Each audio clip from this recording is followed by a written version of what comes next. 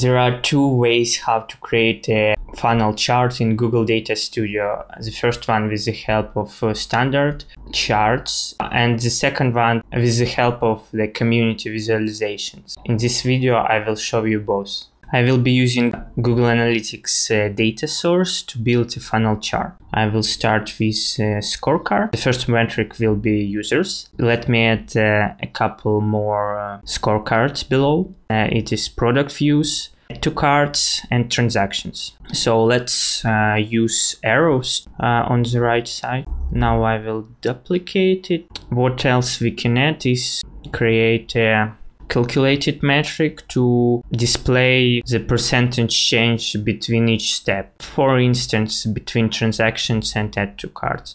So what I need to do, I click on the transactions and uh, also highlight the add to carts.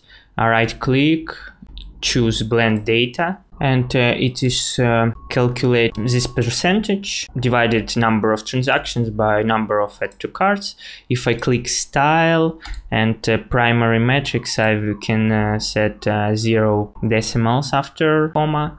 And uh, i want to hide the metric name and also background i want to do transparent. Plus the font size will be a little bit smaller and i place it right here uh, to show the percentage change.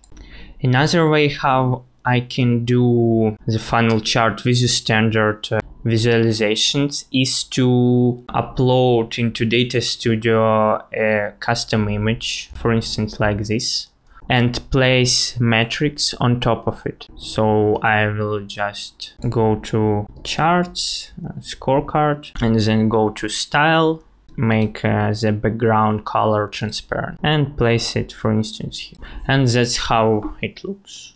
Now let's talk about uh, community visualizations.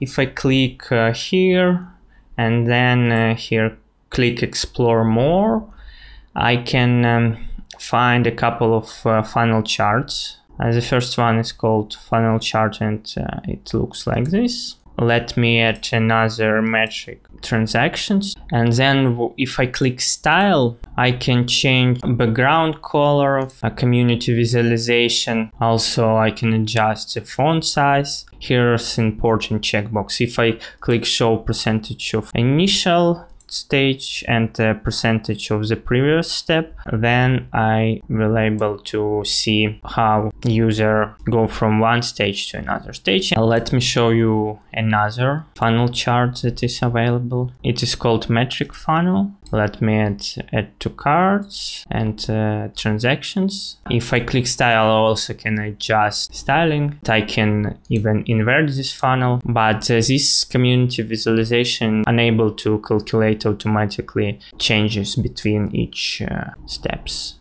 Make sure to subscribe to my YouTube channel not to miss new videos about Google Data Studio and if you need help with Data Studio, check the links in the description below.